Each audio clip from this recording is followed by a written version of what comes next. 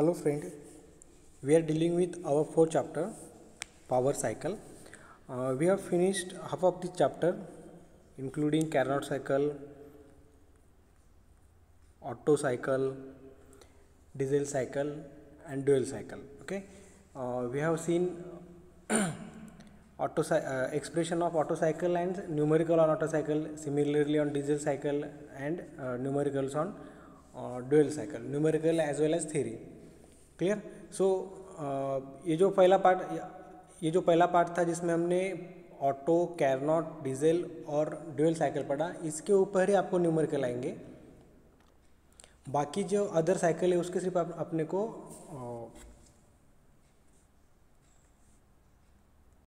तो बाकी के जो साइकिल्स है इरिक्सन साइकिल जूल साइकिल इसके सिर्फ़ हमें एनालिसिस है। और ये जो अभी हमने पढ़ा इसमें एनालिसिस भी है मतलब कैसे हम उसका इफिशिएंसी फाइंड आउट करते हैं और mean effective pressure find out करते हैं। और उसके बाद उसके ऊपर न्यूमेरिकल भी थे। क्लियर सो कैरनॉट साइकिल हमने देखा है। कैरनॉट साइकिल की इफिशियंसी कैसे निकालते हैं वो भी देखा है। उसके ऊपर के न्यूमेरिकल भी देखा है। Okay after that we are seen Otto cycle analysis of Otto cycle in which we have efficiency of uh, Otto cycle is uh, derived. And mean effective pressure uh, formula of mean, effective pressure okay we, uh, apart from this we have seen numericals on Otto cycle also तो जो exam में जिस type के numerical आते हैं उस type के numerical भी हमने पहले लिए हुए सिमिलरली हमने डीजल साइकिल देखा और ड्यूअल साइकिल देखा दोनों में भी हमने एनालिसिस और न्यूमेरिकल न्यूमेरिकल का पार्ट हमने पढ़ा है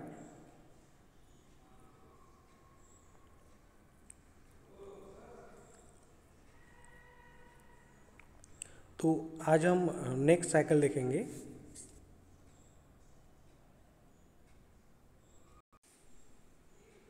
Today we will see next cycle that is Atkinson cycle we have only analysis of this cycle numerical will not be there in exam on Atkinson Atkinson cycle so basically Atkinson cycle is comprise of four four process two adiabatic one at constant volume and one constant pressure okay it is somewhat similar to Diesel cycle पर लेकिन इसके उल्टा है okay अब diesel cycle में क्या uh, पहले मैं इसको बताता हूँ।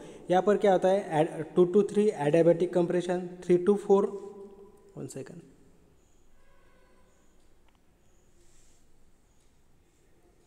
two to three adiabatic compression three to four जो है it is heat added at constant volume similarly four to one adiabatic expansion and 1 to 2 heat is rejected at constant pressure. Diesel cycle में उल्टा रहता है। Diesel cycle में कैसा रहता है?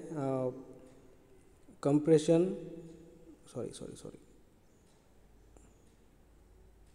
compression heat added expansion okay one two three four diesel engine में heat जो हीट uh, ऐड होती है वो कांस्टेंट प्रेशर है और हीट रिजेक्ट होती है कांस्टेंट वॉल्यूम है। लेकिन इसमें उल्टा है। हीट ऐड हो रही है कांस्टेंट वॉल्यूम को और रिजेक्ट हो रही है कांस्टेंट प्रेशर को। तो आप उसको याद रखने के लिए ऐसे बोल सकते हैं कि ये डीजल साइकिल का उल्टा है। डीजल साइकिल में हीट ऐड होता है एट कांस्टेंट प्रेशर और हीट रिजेक्ट होता है एट कांस्टेंट वॉल्यूम और एटकिंसन साइकिल में हीट ऐड होता है एट कांस्टेंट वॉल्यूम और रिजेक्ट होता है at constant pressure clear? Okay so compression ratio is nothing but V two by V three यहाँ पर देखो uh, यहाँ पर अल्फ़ा क्यों लिया है? मैं आपको बताता हूँ। देखिए uh, यहाँ पर कंप्रेशन रेशो को अल्फ़ा से डिनोट uh, किया है। Uh, वो आर से नहीं किया है क्योंकि ये टोटल वॉल्यूम तो यहाँ पर है। टोटल वॉल्यूम बाय सिर्फ़ क्लियरेंस वॉल्यूम का फॉर्मूला यहाँ पर नहीं है। इसीलिए आर नहीं है। Okay okay? ये जो टू का वॉल्यूम है वी टू और ये जो तीन का वॉल्यूम है वी थ्री तो V two by V three is nothing but alpha compression ratio for this Atkinson cycle clear similarly V one by V four या स्टार्ट कहाँ से होता है? यहाँ पर एक्सपांशन एंड हो रहा है यहाँ पर फोर्थ पॉइंट से चालू हो रहा है. Okay so V one by V four is nothing but R expansion ratio clear now uh, heat is supplied at constant volume. Uh, during 3 to 4 so कितनी हीट हम सप्लाई कर रहे हैं? देखिए यहाँ पर heat supplied at constant volume C V T four minus T three okay C V T four minus T three similarly कितनी heat reject हो रही है यहाँ पर? C P into a C P T one minus T two okay ये हो गए heat supplied ये हो गया हीट रिजेक्टेड क्लियर ये कांस्टेंट वॉल्यूम पे हो रहा है कांस्टेंट प्रेशर पे हो रहा है. Now we can by using this heat supplied and heat rejected we can find out work done कैसे? Work done is nothing but heat supplied minus heat rejected okay so heat heat supplied कितना है? C V T four minus T three और heat rejected कितना है? C V T one minus T two. तो ये हो गया work done अब हमें हम निकालनी है इफिशियंसी इफिशियंसी का फॉर्मूला क्या है? Work done upon heat supply okay ये फार्मूला एफिशिएंसी का। Work done upon heat supply तो यहाँ पर देखो वर्क डन की वैल्यू यहाँ से एज इट इज़ पुट कर दी और हीट सप्लाइड की वैल्यू पुट कर दी। क्लियर डिनोमीटर सेपरेट किया। ये और ये कैंसिल हो गया तो वन वन रह गया। सी पी अब देखो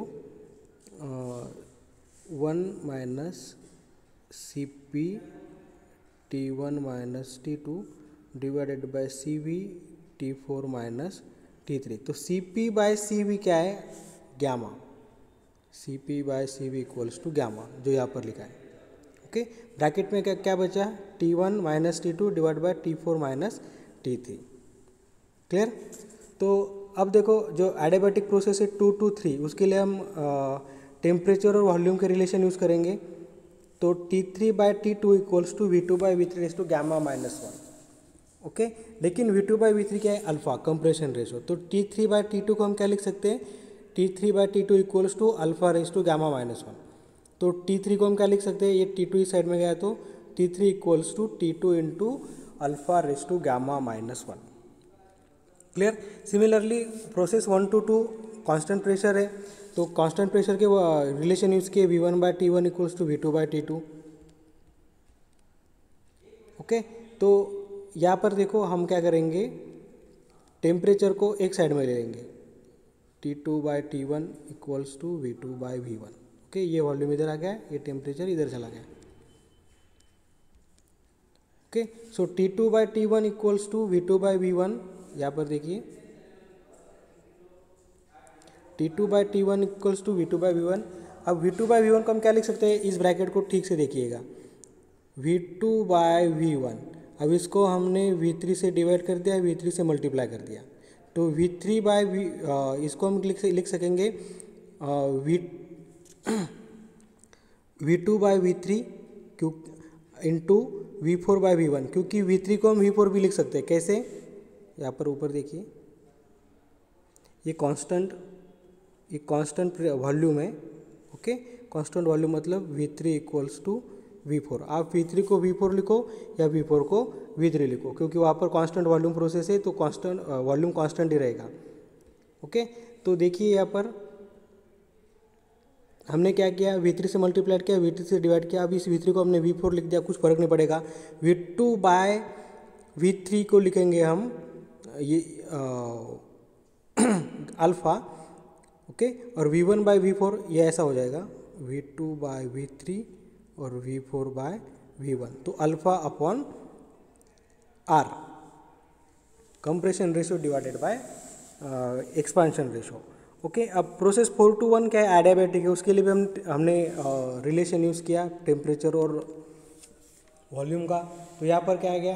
T four by T one equals to V one by V four raise to gamma minus one तो V one by V four को हम क्या लिख सकते हैं? Obviously R expansion ratio so T four by T one equals to R raise to gamma minus one so T one को हम T one को हम क्या लिख सकते हैं? T four upon R raise to gamma minus one clear now अब इस टी वन की putting the value of T one in equation three अब ये जो टी वन की वैल्यू आ गई, ये वाली, ये जो टी वन की वैल्यू है ये हम ऊपर के इक्वेशन में डालेंगे, तीन नंबर के। किधर तीन नंबर का इक्वेशन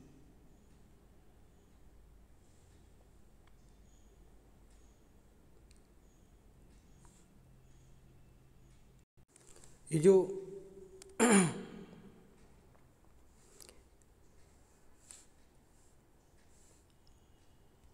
ये जो टी वन की वैल्यू है, हम इस इक्वेशन में डालेंगे। ये इक्वेशन कैसे लिख सकते हैं हम? टी टू टी वन इस साइड में गया। T one alpha upon R तो टी वन की वैल्यू क्या है? ये वाली। तो यहाँ पर देखो टी टू इक्वल्स टू अब ये टी वन की वैल्यू हम ये पुट करेंगे।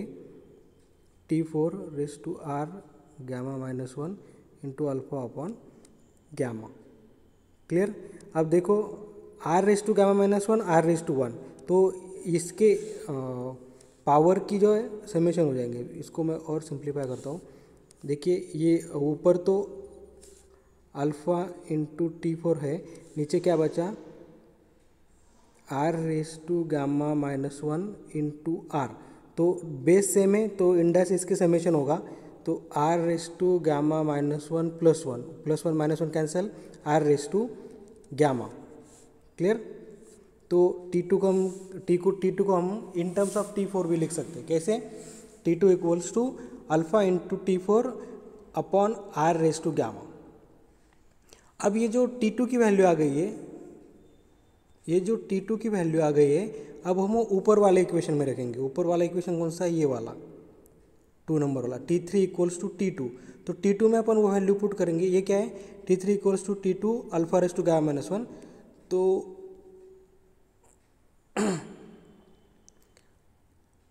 टी टू की वैल्यू हमने पुट की। टी टू की वैल्यू है ये alpha T four raise to gamma R raise to gamma into alpha gamma minus one तो ये ये क्या हो गया? ये अल्फ़ा का भी डिनो बेस सेम है तो alpha raise to one plus gamma minus one cancel हो जाएगा तो alpha raise to gamma alpha का भी पावर गामा हो गया आर का भी पावर गामा तो ब्रैकेट में ले लिए। ओके? अब हमने जो टेम्परेचर निकाले अभी, जो हमने in terms of T four put किए, वो सभी वैल्यू अब हम यहाँ पर पुट करेंगे अपने इस इक्वेशन में। ये वाले इक्वेशन में। ये वाला इक्वेशन कहाँ से आएगा? फिर से बताता हूँ मैं आपको। हमने क्या किया? हमारे पास इफिशेंसी के निकालने के लिए एक इक्वेशन हमें मिल गया। तो हमने क्या किया? टी वन टी टू और टी थ्री इन तीनों को in terms of T four में लिख दिया। सिंप्लीफिकेशन के लिए, ओके? टी वन को भी लिख दिया टी फोर में टी टू को भी लिख दिया टी फोर में और टी थ्री को भी लिख दिया टी फोर में। अब वो वैल्यू हम यहाँ पर पुट करने वाले इस इक्वेशन में। तो वो वैल्यू हमने यहाँ पर पुट की। पहले हमने रख पुट की टी वन की वैल्यू टी वन की वैल्यू थी ये वाली। ये वाली टी वन की वैल्यू बाद में हमने पुट की टी टू की वैल्यू टी टू की वैल्यू ये, वो भी पुट की T four as it is और उसके बाद में हमने पुट की टी थ्री की वैल्यू ये वाली। तो सब में टी फोर है टी फोर कॉमन आ गया। बाहर और कैंसिल हो गया। ओके? अब यहाँ पर क्या बचा? सिंप्लीफाई करने के बाद में आपको मिला ये ये वाला। क्लियर? तो इफ़िशेंसी क्या हो गई? इसकी one minus gamma raise to R minus alpha divided by R raise to gamma ये सिंप्लीफिकेशन मैं आपको समझाना चाहूँगा। अब देखो यहाँ पर ये T four T four T four T four cancel हो गया तो अपने पास अभी क्या बचा? मैं फिर से लिखता हूँ। ब्रैकेट लिखता हूँ। वन अपॉन आर को मैं इस टाइप में लिखूँगा। R raise to gamma minus one minus alpha divided by R raise to gamma divided by. अब देखो ये इसका डिनो यहाँ पर वन है, minus alpha raise to gamma, R raise to gamma, okay? अब देखो, इसका जो ये जो इंडेक्स इसको मैं सेपरेट करता हूँ, इसको हम क्या लिख सकते हैं? R raise to gamma one upon divided by R. अब इसको हम क्या इसको अगर हमको कलेक्टिव लिखना है तो आर गामा माइनस वन लिख सकते हैं, ठीक है? तो ये जो डिनोमीटर का आर है, ये ऊपर जाएगा, R. Minus alpha upon R raise to gamma. Clear? Divided by इसको अब हम इसका डिनोमीटर सेपरेट करेंगे। R raise to gamma minus alpha raise to gamma divided by R raise to gamma. देखो आर रेस टू गामा ये इस, इसका denominator same एक साथ में आएगा और ये कैंसिल हो जाएगा। तो ये ऊपर क्या बचा? आर माइनस अल्फ़ा यहाँ पर R raise to gamma minus alpha raise to gamma. Simple था। क्लियर तो एटकिंसन की इफिशियंसी क्या हो गई? फिर one minus gamma R minus alpha R raise to gamma minus alpha minus gamma sorry alpha raise to gamma okay इनमें से R है एक्सपांशन रेशो और अल्फ़ा है कंप्रेशन रेशो क्लियर कुछ भी डिफ़िकल्ट नहीं था आपको सिर्फ़ मेथड याद रखनी है। हमें, हम यूजुअली क्या करते हैं, या, यहाँ पर जो हमें फॉर्मूला मिलता है यहाँ पर जो हमें फार्मूला मिलता है, उस, उसे, उस फार्मूले को हम सिंप्लीफाई करने के लिए एक टेम्परेचर को इन टर्म्स ऑफ़ दूसरे टेम्परेचर लिखते हैं। जैसे हमने टी वन को in terms of T four लिखा टी टू को in terms of T four लिखा और टी थ्री को in terms of T four लिखा। तो सभी टेम्परेचर अब टी फोर में तो टी फोर कैंसिल हो जाएगा। बराबर? ओके तो इस तरह से हमने एटकिंसन की इफिशियंसी फाइंड आउट कर ली। अगले लेक्चर में हम दूसरी साइकिल देखेंगे।